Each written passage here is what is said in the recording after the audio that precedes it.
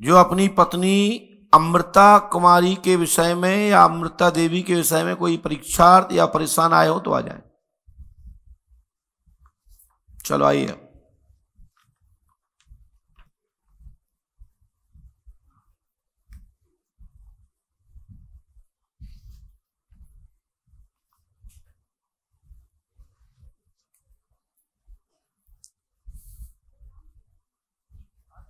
साथ में ये कौन है?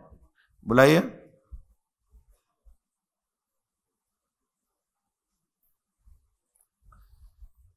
पास में आइए सिर पे पल्लू डालिए। और इससे टच मत करें। पास में आइए। बैठ जाइए। हाँ। बोलिए क्या बात है?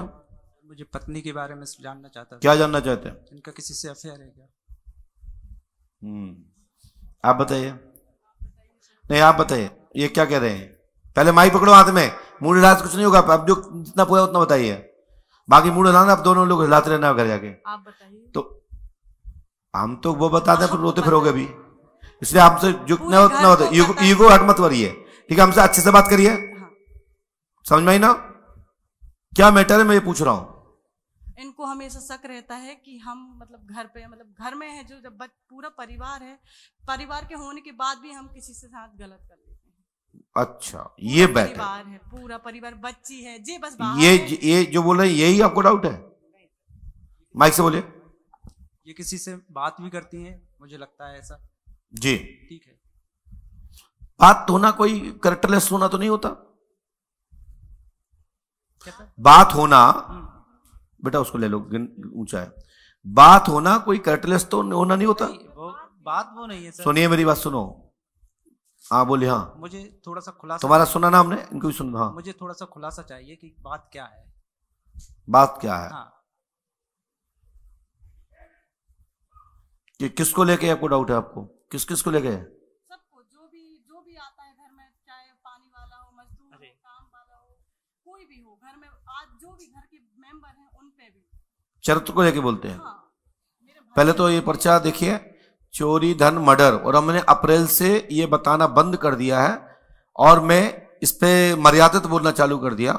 अभी हमने एक ऐसा पॉइंट बोल दिया जो कि नहीं बोलना मैंने कहा गाइडलाइन नहीं है लेकिन तब भी स्क्रीन पे लीजिए पर्चे पर क्या जाओगे क्योंकि हमारा पर्चा लाइव जाता है।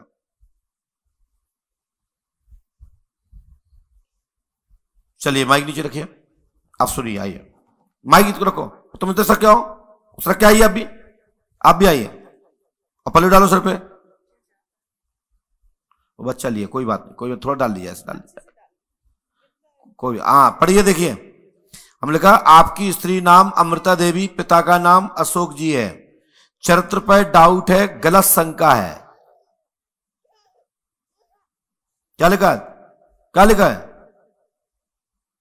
गलत शंका है। गाडरवारा का वर्तमान निवासी बड़े भाई का मित्र रमाकांत जी पर डाउट चलता है। बोलो हाँ है ना? अब अब अब तो बोलो भैया। हाँ ये है। कौन है ये? ये भैया के दोस्त इनके साथ पढ़ते थे मैं कभी नहीं जानती किसी को। किसी को मिलती भी चलिए माइक रखिए। मेरे भैया भी नहीं है।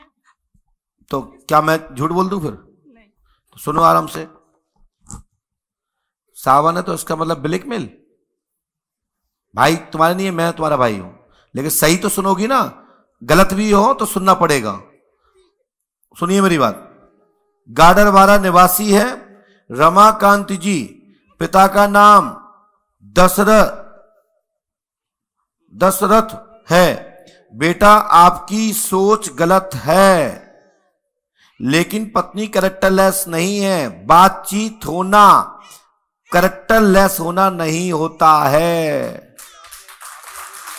मैंने अभी आप जब मेरे पास पहले भी सुनिए कहा लिखा दिखाओ पर्चा।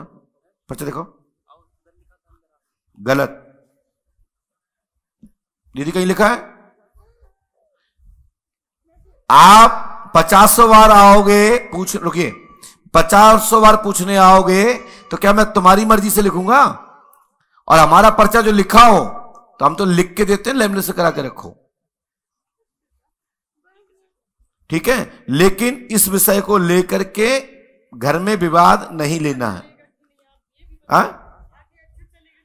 देखिए, ये बता बेटा, कभी दो चीज़ें ध्यान रखना। बेटी को हमेशा पति ही मैन होता है। ससुराल ही पवित्र स्थल है। अन्य कोई ही बेटी के लिए घर नहीं होता। इसलिए पहले तो बेटी को और दोनों पत पत्नी को आपस में पारदर्शी रहना पड़ेगा, लड़ाई सबके घर में होती है, प्रेम से एक साथ रहिए 24 घंटे में सच्चाई सामने आ जाती है, ये ध्यान रखें। और जब साइकोलॉजिकल डाउट हो जाए तो वो लड़की को, उस बेटी को, उस पत्नी को, हर संभव, हर प्रयास से, उस डाउटफुल व्यक्ति के जीवन को बनाने की ज़िम्मेदारी पत्नी की होती है, वो हर टाइम परीक्षा ना देवे, सच का आने दिखाने के लिए निमंत्रण करे। कि भाई बताओ हमें टोक के पकड़ के दिखाओ। ठीक है ना? जैसे अभी हमारे पास एक बेटी आए, भैया आए तो हमने क्या लिखा उसमें? कि तुम्हारी पत्नी को फलाना व्यक्ति भगा ले गया है, और वो फलानी जगह है। बोला कि नहीं बोला? तुमने कोई हमें पैसे पैसे दे दिए कि तुम्हारे पक्ष में बोले या इनके पक्ष में बोलेंगे? जो हमारे यहाँ नियम है, जो सच्चाई है, वो बोलूँगा चाहे अच्छा लगे अच्छा बुरा। यदि ये निर्णायक कुछ बात पूछना है तो हमारी बात को मानना पड़ेगा। हाँ, फिर भी कहता हूँ बात करने मात्र से चरित्रहीन करेक्टरलेस नहीं होता। ठीक है? और इस, सुनिए, प्रमाणिकता तो इस बात की भी है। आप कुछ भी बोलिए। जैसे कि उदाहरण में, जब मैं आपके जेम के अंदर का वर्तमान का सही बताएँगे जेम के अंदर का तो क्या हमारी आगे की बात गलत होगी? बोलिए। क्या होगी? माइक से बोलियो ना, क्या कह रहे हो? नहीं होगी नहीं होगी ना? पढ़े लिखे हो? रखो माइक। आप बताइए, हम जेब में क्या रखे बता सकते हो? तुम ऐसे ही नहीं आ गए। पचास सौ तुमने वीडियो देखे होंगे, पचास सौ लोगों से पूछा होगा, पचास लोगों से, उसके बाद भी धक्के खाते खाते परीक्षा भी लेने भी आए ना तो भी धक्के खा रहा है। कुछ तो है यार, सबके बताया हमारी का नहीं बताओ। कुछ तो है ना। सबसे ज़्यादा पैसा काय में रहता है, जानते हो? काय में रहता है? बैंक में रहता है एटीएम में रहता है पेटीएम में रहता है।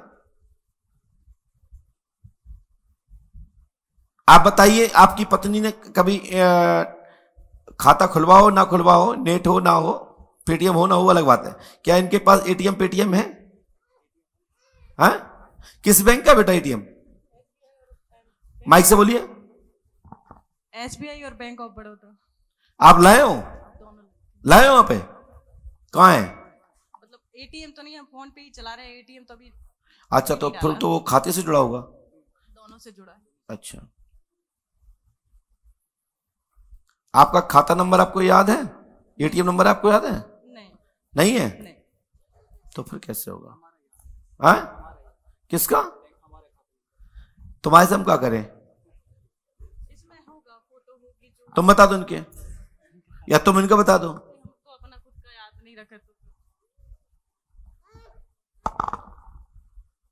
आपका खाता नंबर ये है।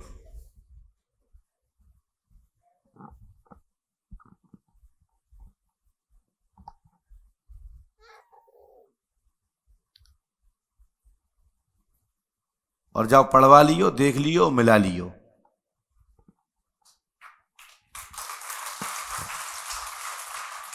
और रहा सवाल दोनों की पारदर्शिता के लिए। तो केसर, जानते हो केसर?